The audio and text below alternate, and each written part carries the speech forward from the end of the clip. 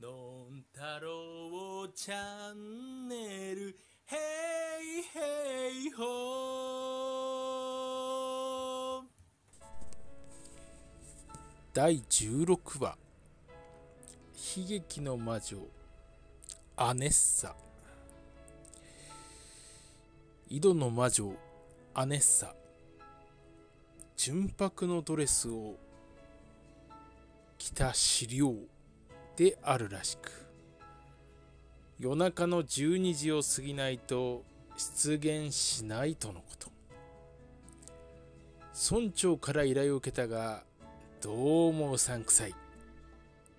村長は何かを知ってるな？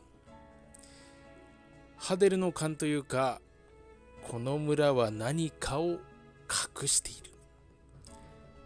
直感的にハデルはそう感じていた。目は口ほどにものを言う。昔の人はよく言ったものだ。村長の目は明らかに泳いでいた。しどろもどろで額から冷や汗がにじんでいるのも見えていたのだ。資料や勇気の類のあやかしならばファイヤーフレームで焼けばいい。安直に考えていた。アネッサには魔法そのものが効かないのだ。覇者の剣の覇者効果すら無効にする強力な正気をまといハデルたちに長い爪で襲いかかる返せ。返せ。妙な叫び声を上げている。すでに数時間経過している。お互い決定的なダメージがないまま。無意に時が過ぎる。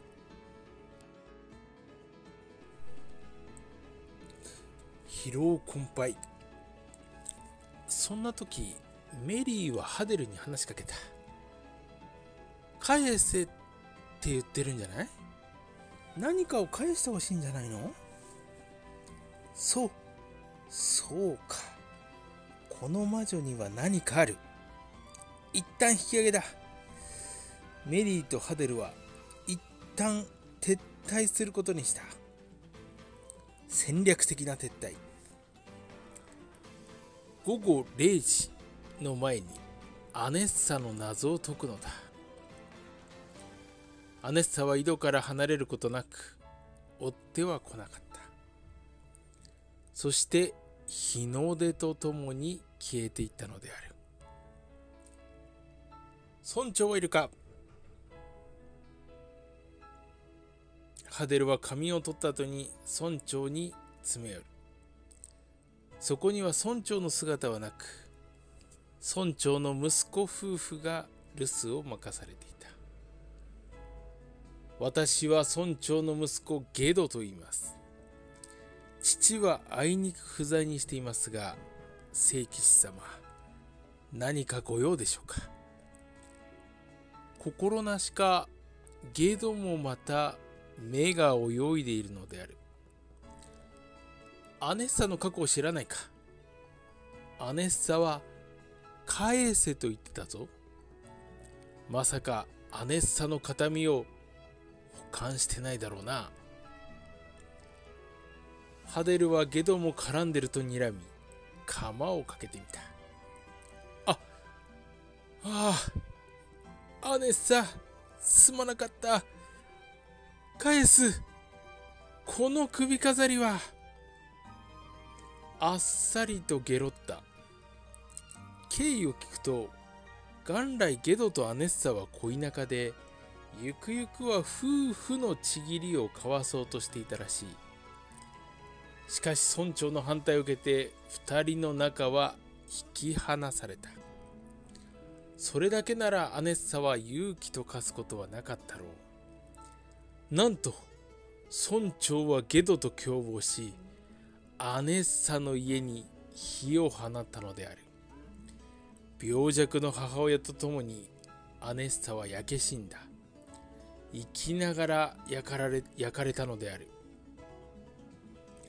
信じてた人に愛する者に裏切られたアネッサの絶望は計り知れないだろう。あろうことか意外は古井戸に捨てられ放置された。埋葬すらされなかったのだ。そして2人の愛の証として共同で作った守りの首飾り。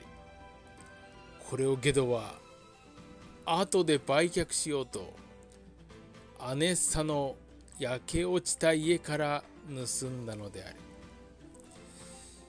ひどい。ひどすぎる。あなたは下道よ。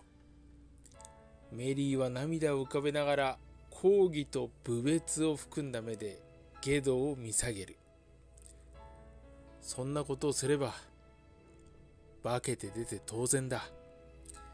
でもなぜ焼き討ちなどそこまでしなくても実は村長とアネッサの母も不倫関係だった。そして双方の利害は一致。し焼き討ちに至る経緯へと発展したとのことだった。そしてアネッサの母の家系は動物や植物。あやかしとも会話ができるという特殊スキルの家系だった。アネッサの母はあやかしとも分かり合える。私たちは神そのもの。全体である全てであると口癖のように話していた。この国では全体教というカルト教に認定されていた。つまり魔女狩りとして支援も混じり焼かれたのである。アネッサに守りの首飾りを返さなければと誓うメリーとハデルだった。ハデルはつぶやく。なぜ魂になってなお人間のように争うのか。次回へ続く。第17話。あやかしの正体。ゲドお前は俺と来い。来るんだ。許しを超え。そして自らアネッサに首飾りを渡すんだ。ハデルはゲドに諭す。いや嫌だ。俺には妻も子供もいるんだ。今さら会えるわけないだろう。ゲドはかたくなに拒否する。2時間。いや3時間。俺はゲドを説得する。そして最終的にこう告げた。ゲドお前は毎日ぐっすりと眠れてるのか？ゲドは涙を流した。あれからまともに一度も眠れてない。なぜ化けて出るんだ？アネッサに対して逆恨みまでしたゲドだった。この返還の儀はアネッサを救うだけではない。お前を救うためのものである。ハデルは諭すゲドはアネッサに会うことにした。許しを請うために。アネッサへ別れを述べるために。アネッサは帝国通り午前0時に現れる井戸から黒い正気とともに「返せ!」と断末魔のような恐ろしい叫びを上げながらゲドは近づく震えながらそのそばにはメリーとハデルが護衛につくよどんだドクロの目長い爪がゲドを刺そうとした瞬間守りの指輪に守りの首飾りに気づく。ゲドとアネッサが2人の結婚式にと作成した悲しい首飾り。ドクロの勇気の姿からあの美しかった生前の姿へと戻るアネッサ。ゆ許してくれ。俺が間違っていた。お前を裏切ったのは俺だ。守りの首飾りをアネッサに差し出すゲド。アネッサは再びエンサの声を上げて生前の美しい姿から勇気の姿へ変えていく。あなたを愛してたの。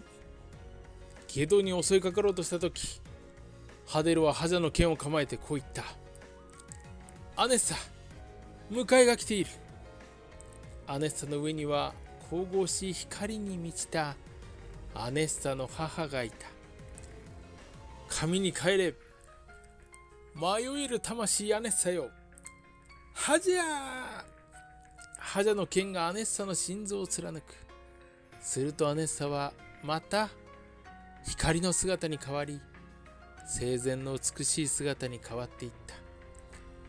ありがとう聖騎士様。心が浄化され本来の姿に帰れます。私は母と共に5次元の神の世界へ帰ります。ありがとうゲド。あなたとの暮らしは楽しかったわ。忘れない。ありがとう。アネッサは消えた。アネッサは会いたかったのだ。愛した男に。愛を求めるがゆえに愛に奉公した。その悲しい愛は遠さとなりあやかしとなった。そうあやかしの正体はマーラの人々の愛を求める姿に他ならなかった。そしてあやかしを操るのは魔魔王スマタ。戦いは始まったばかりである。アネスタが天に召された時ハデルは経験値が爆上がりしているのに気づく。敵を倒す払うより感謝される方が大きく経験値が上がる。そういうことなのか。ありがとうございます。この気づきに感謝。また経験値がちょっと上がったハデルであった。次回へ続く。ちゃんちゃんのんちゃんちゃんのんちゃんちゃんのんちゃんちゃんテレレレテレレレテレレレテレレレテレレレテレレレタララタララズンズズズズズズズズンタラリララリラ。のんたろうチャンネル。